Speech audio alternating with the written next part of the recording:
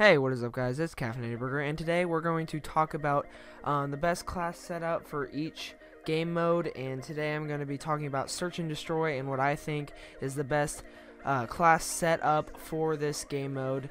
Now, this is off my personal preference and what I think helps the most and what is the best class to use for this particular game mode. So today we're doing Search and Destroy, and I'm going to go through the primary, secondary, lethal, tactical, optics, attachments, and the perks on what I think are the best.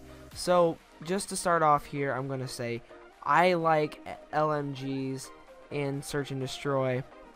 I didn't, I was really leaning towards Sniper like the Drakon because um, I like how it was uh, semi-automatic um, not bolt, but then I started playing with the LMGs and I was like, I actually like this. And my favorite out of the LMGs are um, Def is definitely the Dredge because I don't know, it just seems powerful.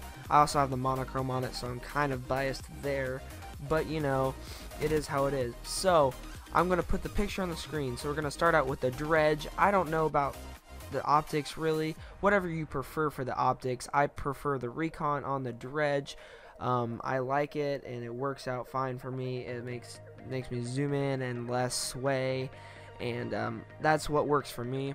As for the attachments, I don't have really any favorite attachments except for grip because grip will help you with the recoil because there is usually recoil on LMGs and that is not usually a good thing to have going on for you. So I would suggest the dredge out of the M LMGs.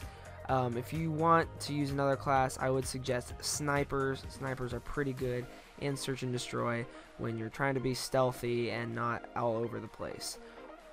Also, let's go to the secondary. If you are good at pistols, I would definitely suggest pistols because I, I don't know, they just seem a lot more mobile and um, better to go around with than a uh, rocket launcher. And the rocket launcher also only has one or two um, rocket reloads before you run out and uh, it's not really good for search and destroy I don't think. But uh, if you want to use a rocket launcher I guess you can but my favorite would have to be the one I would suggest would be a pistol or maybe even the knife if you get up close you know when they're planning or defusing the bomb you can just go up and knife them really quickly. Now the lethal I'm gonna have to say I go with the trip mine for this one um, because you can let you'll know when people are there. Of course, it'll explode. That's why C4 would also be good. You can know where people are, and then uh, on the C4 you can obviously explode and they'll probably kill them.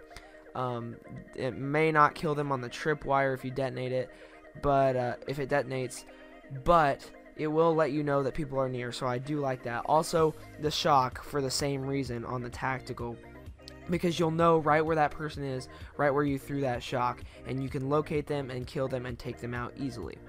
Now, for the perks, I'm going to uh, have to say that Ghost is my favorite perk um, because you want to be stealthy, you don't want to really be seen, and um, you're going to want to go uh, silently and be non-detected while you're playing this game mode.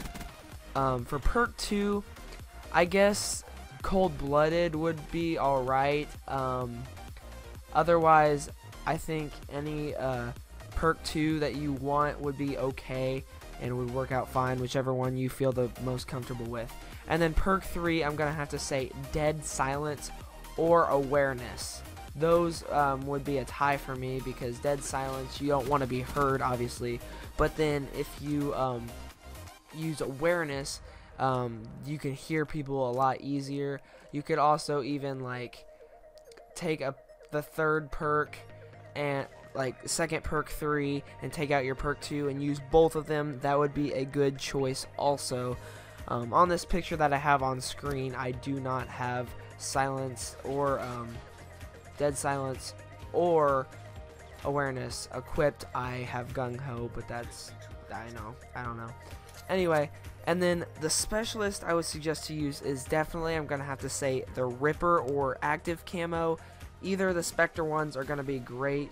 Um, Ripper because it loads really, really quickly and it's you're going to get it multiple times in a search and destroy match. Um, and you can come up and melee people just like the knife. Also, the active camo, you want to be undetected, and that's the best way to go undetected, at least for a little bit of time. I think it's about 15 seconds that you have the active camo. I'm not exactly sure of the exact time. Um, there is one specialist that you do not want to use on search and destroy unless you do not want to use specialist is the Reaper Scythe because it takes forever to load. Even with overclock, it takes forever to load. So hopefully you guys uh, can benefit from this. Hopefully it helps you out. Um, it really helped me out because I was using, I wasn't doing too well. Then I started using uh, the dredge, 48 dredge, and I got really good at it, and I was doing better. So um, make sure to like if you enjoyed and subscribe for more videos. It's been Kevin Aberger, and I'll see you all in the next video. Thank you for watching.